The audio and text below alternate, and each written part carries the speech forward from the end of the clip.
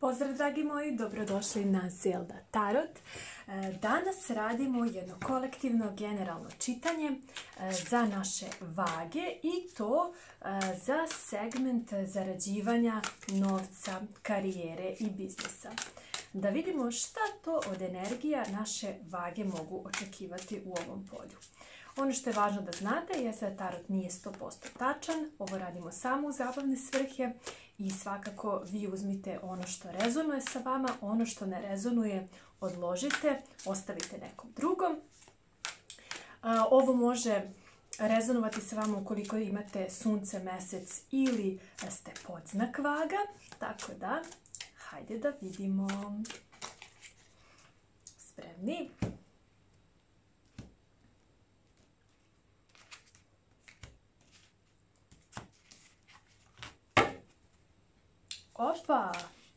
Vage! Vi izlazite iz jedne onako, mm, boga mi, izazovne situacije. Hajde da vidimo dalje. Tri kupa.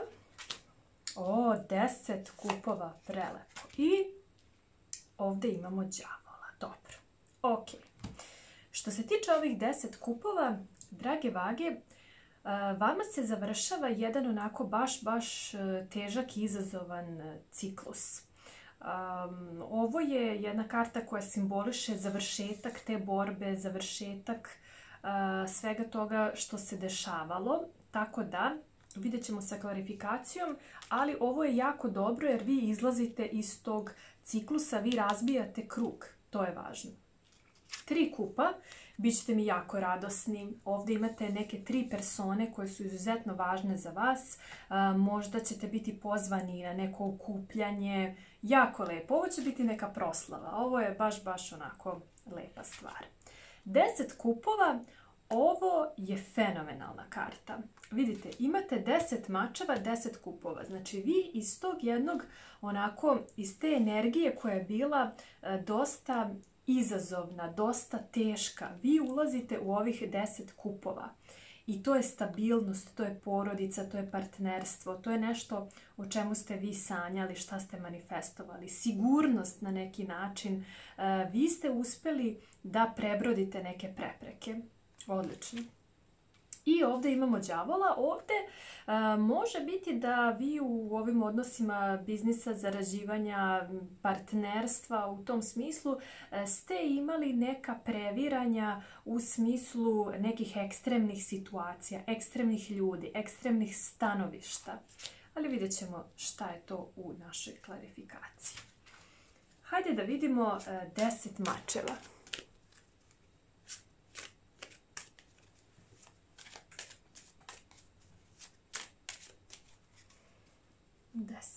Mačeva. Deset mačeva i imamo konjanika kupova.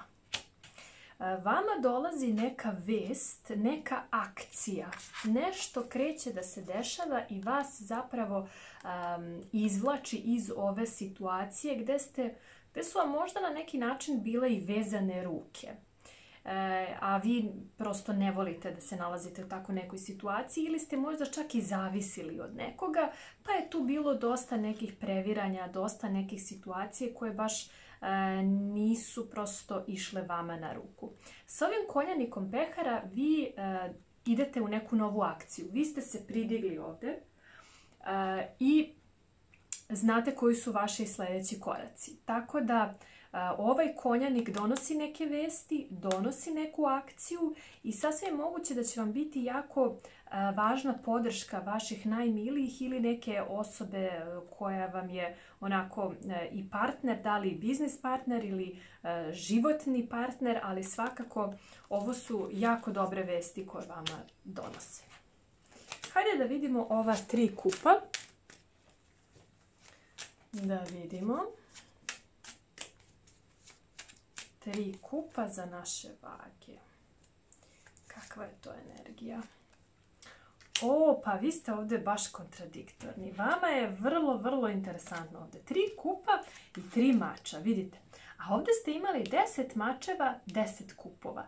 Znači vi nekako izlazite iz tih nekih situacija na vrlo ekstreman način koji ovaj đavo ovdje e, i pokazuje. Vrlo interesantno. Nije tu nekako, nema, nema sive zone kod vas. Sve onako, ili je jako, jako dobro, ili su baš onako jaki izazovi.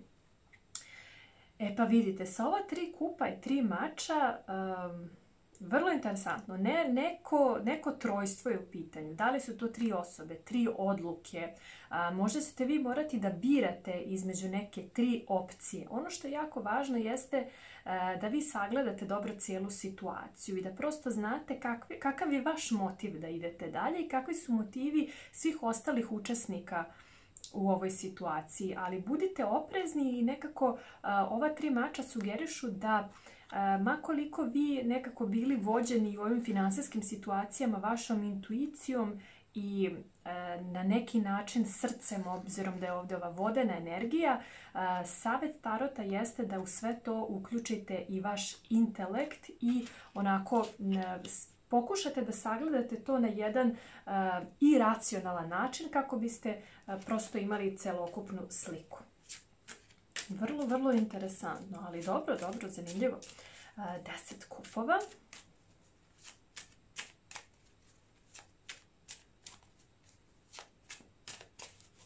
Da vidimo. Deset kupova, a smača. Vi krećete u nešto novo. Ono što je najvažnije jeste da vi ovdje niste, niste se obeshrabrili sa ovom situacijom. E, vi ste dobili informaciju vezanu za to, vi ste napravili akciju, e, isto tako ste napravili analizu šta je to što vi konkretno želite i vama ovdje sa ovim asom mačeva vi imate novu priliku. Vama se ukazuje ta e, na neki način nova prilika ovo je također i nešto što je e, na neki način iznadreno sa strane univerzuma za sve dobro što ste vi uradili za sebe i za svoju okolinu. Tako da, e, jako lepo, nova prilika. E, na vama je da li ćete iskoristiti ili ne, kako ćete vi sve to posložiti, kako ćete sa ova tri kupa i tri mača prosto napraviti jedan balans. To je svakako na vama, ali prilika kao takva za postizanje ove harmonije vama definitivno stoji. Znači imate novu priliku ovdje. Hajde da vidimo koja je simbolika ovog đavola koji je izašao. Mhm. Vrlo interesantno. Ok, ovdje imamo cara. Car i đavo. Sasvim moguće da ste imali neku situaciju gdje je bio uključen neki autoritet ili e, gdje je bilo uključena neka mm, možda čak institucija, potpisivanje. E sada, iz kog razloga je to vama e, bilo suviše ekstremno? Možda je ono što, su, što je bilo traženo od vas bilo suviše ekstremno, možda čak na neki način i toksično. Sada ova figura velika arkane može, imate veliku arkanu na veliku arkanu. može predstavljati i nekoga ko je vama nadređen. Možda je taj odnos prema vama bio toksičan, te iz tog razloga ovih deset mačeva. Mm, možda ste imali posla sa nekim ko, ko je u znaku ovna, u vatrenom znaku. Ovo je svakako neka osoba koja je na nekom odlučujućem mestu.